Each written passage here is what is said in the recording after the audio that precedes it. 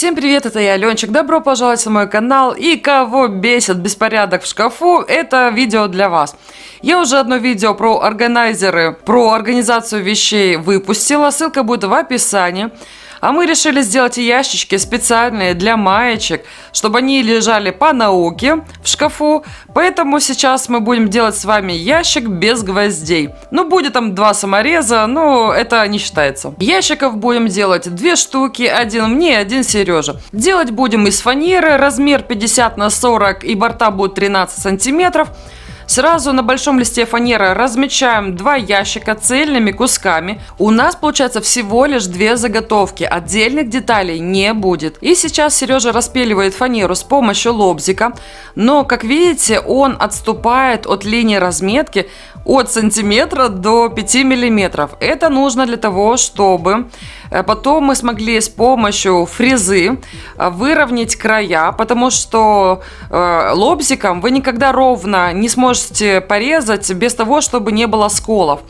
И так как мы обзавелись э, фрезеровальным аппаратом, то сейчас мы прикрутили одну доску, которая очень-очень ровная, ну прямо вырезана еще на производстве. И сейчас с помощью вот этой фрезы, она называется копировальная, будем равнять края, то есть выводить их по линии, которую Сережа нарисовал, но при этом у нас не будет сколов, ну, максимум какие-то зазубрины. Потом их можно будет снять наждачкой.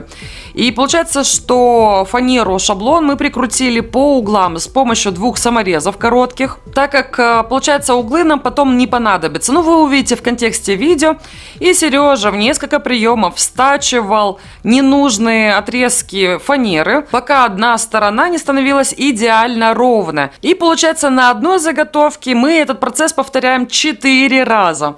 И, соответственно, мы четыре раза прикручиваем один и тот же кусок фанеры, который супер ровный. И потом то же самое делаем со второй заготовкой для второго ящика.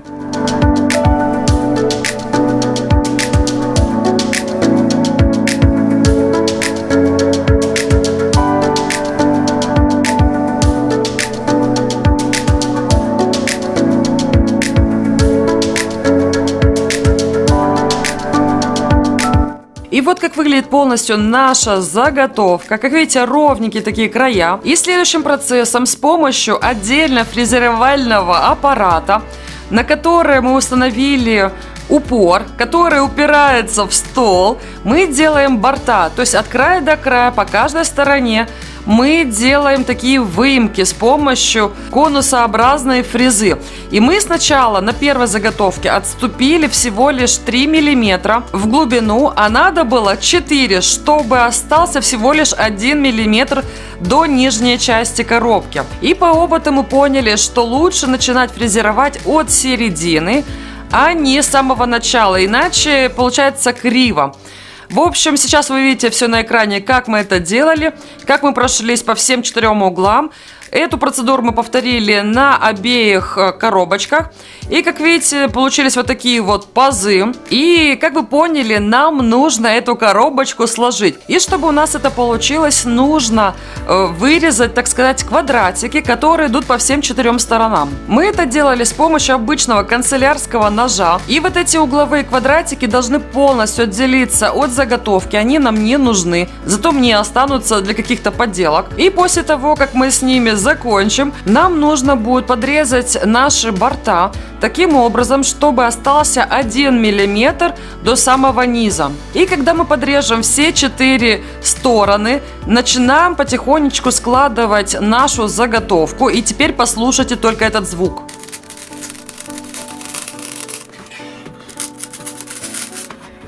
Ну что ж, первую заготовку мы сложили, то есть они теперь сгибаются, разгибаются, все вот эти вот борта. И для того, чтобы собрать нашу коробочку без единого гвоздя, мы будем использовать самый крепкий, самый мощный клей. Мы его уже проверяли в других подделках. Это столярный клей ПВА. Его нужно жирным слоем нанести на все сгибы, на все срезы и начать потихонечку собирать все это дело. И для того, чтобы она никуда, вот эта коробочка, не девалась и не разбегались углы, мы решили временно зафиксировать все углы малярным скотчем. И потом я взяла самую простую веревку, по-моему, это даже остаток от шторы. И мы ею, получается, обтянули весь ящик и создали максимальное напряжение, чтобы все углы склеились и хорошо держались. И, как я говорила, на втором ящике мы догадались сделать э, вот этот вот центральный прорез более глубоким и оставили всего лишь 1 миллиметр. И, соответственно, буквально в пару движений отделились все вот эти боковые квадратики. И вообще без единого напряжения сложилась коробочка. То есть э, не было никаких проблем по поводу сборки. И мы повторяем, получается, процедуру обмотки ниткой. И чтобы вот эта вот веревка максимально хорошо стянула коробку, нужно воспользоваться известным старым лайфхаком, который, наверное, знали еще индейцы. Берем вот такую шпажку и просто ее накручиваем до предела. И чтобы она обратно не размоталась, нужно зафиксировать ее малярным скотчем.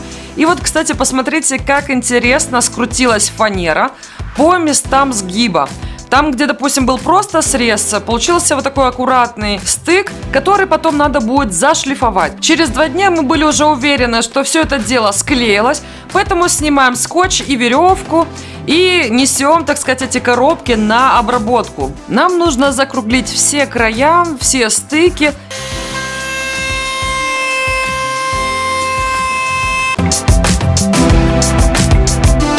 И вот так выглядит обработанный край. А сейчас нам нужно сделать перегородку для каждой коробочки. Они будут нам нужны для того, чтобы у нас вещи не перемешивались в кашу-малашу. И их размечаем по внутренним параметрам коробочек. И дальше вот эти вот две перегородки мы вырезаем с помощью лобзика. И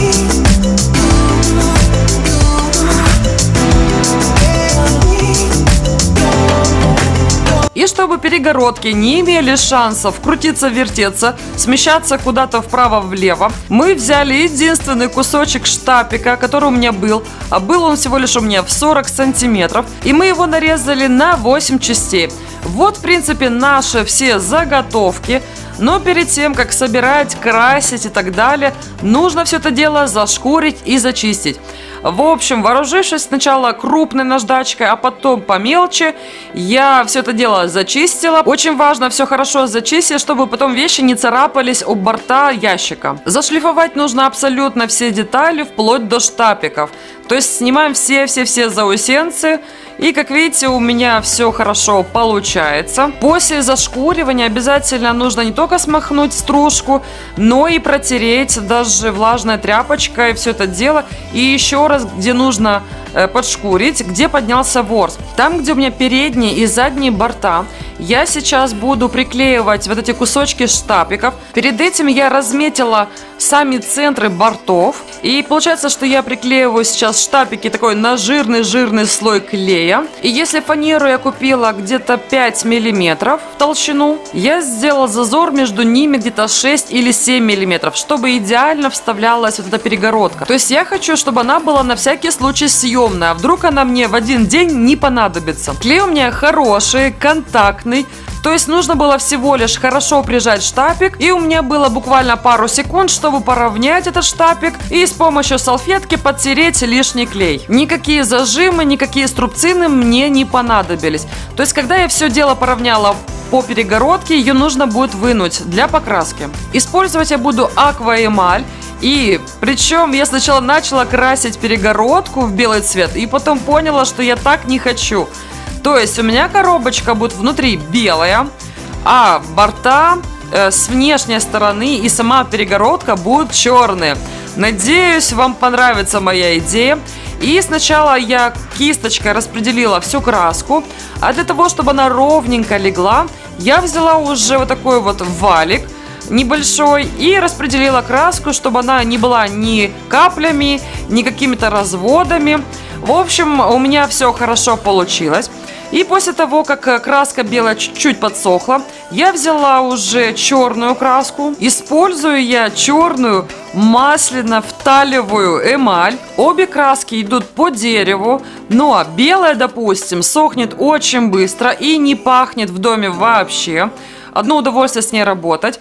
А черная, наоборот, сохнет и пахнет. В общем, все вот эти вот детали сохли у меня два дня. И если вы думаете, что на этом уже все, то нет. Нам нужно сделать ручку. Почему-то мы решили это сделать в последнюю секунду. И, значит, с помощью угловой фрезы мы пробовали сделать сначала один вариант, у нас ничего не получилось. Мы хотели сделать Т-образную форму ручки. В конечном итоге вот мы сделали такую форму, более попроще. Китайский фрезерный станок мы до конца еще не освоили, буквально недавно его купили. В общем, сейчас нарезаем э, вот эти ручки по 15 сантиметров. Их нужно будет немножко подшлифовать, привести в порядок. И я их не буду красить, не буду ничего с ними делать. Мне показалось, что они будут смотреться красиво на фоне черного. Поэтому с изнаночной стороны мы делаем разметку. То есть я сделала две точки, потом шилом мы сделали такие проколы, чтобы э, сверло, так сказать, не увело. И после этого мы сначала делаем сверлом на три отверстие. И потом сверлом чуть покрупнее мы делаем развальцевание, по-моему, или как это называется, когда освобождается чуть место под шляпку, ну, чтобы все было вровень. Ну что ж, осталось эти ручки просто прикрутить саморезом. То есть это единственные саморезы вообще во всей этой коробке. Ну и наконец-то вставить уже наши перегородки в специальные пазы, которые мы делали. И вы не поверите, мы делаем это первый раз. То есть мы до сих пор ни разу не примеряли, что и как. Стало все хорошо, четко. И, значит, давайте уже посмотрим, куда мы их решили приладить и где они у нас будут. Мы решили поставить все таким образом, чтобы было легко э, достать, чтобы было видно, что где лежит. И у меня вот есть такой чудесный помощник, который контролирует процесс. Сейчас я сложу все вещи, по местам. И получается, что верхняя полка будет для мужа, а нижняя для меня. Ну, потому что я чуть пониже. И все вещи я сложу вертикальным способом. И, соответственно, когда вы будете брать маечку, другие не будут падать и держаться друг за друга или за борта ящика. В общем, я надеюсь, что эта идея вам понравилась. Понравился сам э, принцип изготовления ящика. Надеюсь, вам нравится эта ручка, не покрыта ничем, потому что я до сих пор сомневаюсь, красить ее в белый цвет, допустим, или в желтый, или так оставить как есть. Ну, в общем, девчата и ребята, я рассчитываю на ваш пальчик вверх и подписку на мой канал. И жмите на колокольчик, чтобы не пропускать мои следующие видео. И я надеюсь, вы подпишитесь на мой второй канал, кто не подписан. Он называется Аленкины самоделки live. Я буду очень рада вас там видеть на втором канале. Так что давайте там общаться. И я желаю вам всего самого-самого хорошего. Желать вам счастья, любви и здоровья. С вами была я, Аленчик. До новых встреч и пока.